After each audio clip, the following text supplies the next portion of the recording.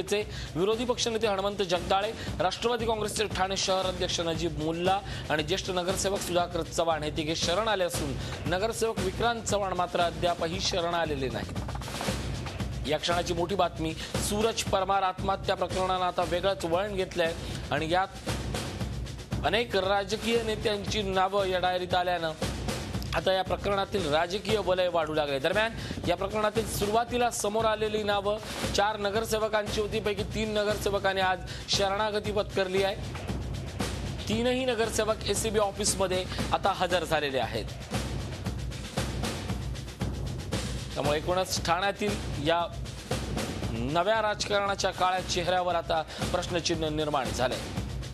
तीन नगरसेवकांनी शरणागती पत्करली आहे. बिल्डर व्यावसायिकांचे आणि राजकारणाचे संबंध त्यातून सूरज परमार यांच्यावर आलेला आत्महत्येचा प्रसंग या सगळ्यातलं राजकीय नेक्सस काय आहे हे आता एसीबी पर्यंत पोहोचणार आहे.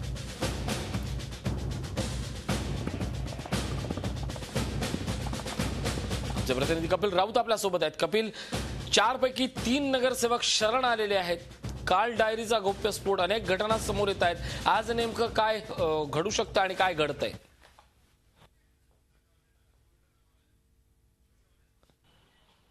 नक्कीच ऋषी जेव्हा आपली ही बातमी सुरू विक्रांत चव्हाण हे सुद्धा शरणगती आलेले आहेत. त्यामध्ये चारही जे नगरसेवक आहेत ते आता शरणागती पत त्यांनी पत्करलेली आहे. ठाण्यातील कापोरळी परिसरामध्ये एसीपी ऑफिस काप कासरोळी पोलिसांचं एसीपी ऑफिस आहे. त्या एसीपी ऑफिसला यांनी शरणागती पत्करलेली आहे. तुम्ही माझ्या मागे बघू शकतो का? हे ज्या एस ऑफिस ऑफिसमध्ये चौघांचीही आता चौकशी सुरू आहे. चौघही अरेस्ट अरेस्टची अरेस्ट होण्याची अटक होण्याची प्रक्रिया सुरू आहे.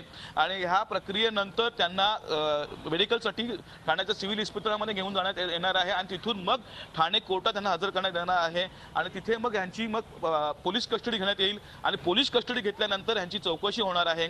एकंदरीतच आता हे सूरज परमार केस आहे वेगळ्या वळणावर आलेली आहे. हा एक मोठा मूव बोलू शकतो ठाण्यातल्या राज ठाण्यातल्या राजकारणामध्ये किंवा ठाण्यातल्या राजकीय भूकंप बोलू शकतो कारण की चार नगरसेवक आज खऱ्या रीतीने अटक होत आहेत या सूरज परमार केसमध्ये. आणि त्यांची थोड्या दिवसांनी चौकशी सुरू होणार आहे. या चौकशी अंतर्गत काय निघतं ह्याकडे सर्व लक्ष लागणार आहे. त्याच आपण एक मोठी बातमी दिली होती का दोन हजार चौदाला एक I T I T raid पडली होती सूरज परमार यांच्या कार्यालयावरती. आणि त्या पूर्ण आय टी रेटमध्ये काही नावं समोर आलेली आहेत. आणि ती राजकीय नावं आहेत. आणि ह्या राजकीय नावांना अ, सूरज परमार यांनी पैशाची मदत केली होती. आर्थिक व्यवहार केले होते. ते आर्थिक व्यवहार नक्की काय होतं? ह्याची चौ- पुढे पोलीस चौकशी करणार आहे त्यामुळे राजकीय भूकंप बोलू शकतो. राजकीय वळतळ खळबळ उडाली अशी बोलू शकतो. अनेक मोठी नावं समोर येत आहेत. त्यामुळे ही आता केस किती ब- किती पुढे जाते याकडे सर्वांचं लक्ष लागलेलं आहे. नक्कीच ही एक मोठी राजकीय घटना आहे आणि ज्या पद्धतीनं आपण म्हणताय की काल झालेले डायरीतले गौप्यस्फोट आणि आज समोर येणारे अर्थात चारही नगरसेवकांची शरणागती या दोन्ही प्रकरणाचा जर एकत्रित विचार केला तर आज ठाण्यातल्या राजकारणावर फार मोठं प्रश्नचिन्ह निर्माण होणार आहे. कारण सर्वच राजकीय पक्षांना धक्का बसणार आहे आणि यात बिल्डर रॉबीशी असणारं राजकीय नेक्सस हे समोर येणार आहे. काय सांगाल?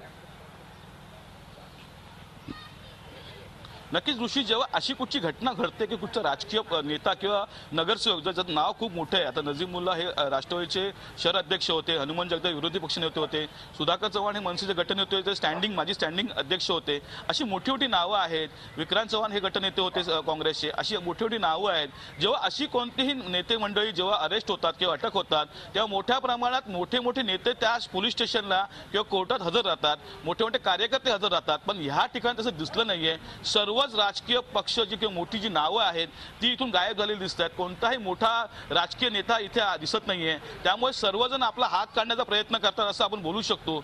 एकंदरीतच ही चार नावं आता ही चार नावं अजून कोणाची नावं घेतात का? हा एक मोठा प्रश्न आहे. त्याचबरोबर आय टी रेटमध्ये जी नावं समोर आली आहे त्यांचा काही संबंध आहे का या केसची या दोन्ही गोष्टी तपासण्यास आता पोलीस गुंग झालेली आहेत. त्यामुळे कोणाचं नाव कधी येईल? आज उद्या कधी कोणाचं नाव मोठ्या नेत्याचं नाव फुटू शकतं आणि समोर येऊ शकतं. त्यामुळे सर्वच मोठे नेते असो किंवा छोटे नेते असो किंवा पालिका अधिकारी वर्ग असो सर्वच एक एक- एक शांतता आहे पूर्ण एक भीतीचं वातावरण जे मना पूर्ण पसरलेलं आहे. त्यामुळे एकंदरीतच आता ही केस आहे ही वेगळ्या वळणावर गेली असंच आपण बोलू शकतो.